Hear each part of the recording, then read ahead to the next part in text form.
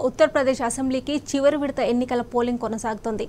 మధ్యాహ్నం మూడు గంటల వరకు నలభై ఆరు పాయింట్ నాలుగు సున్నా శాతం పోలింగ్ నమోదైంది. అని ఈసీ వెల్లడించింది. సాయంత్రం ఆరు గంటలకు ముగియనుంది. యాభై నాలుగు స్థానాలకు పోలింగ్ జరుగుతుండగా ఆరు వందల పదమూడు మంది అభ్యర్థులు బరిలో ఉన్నారు.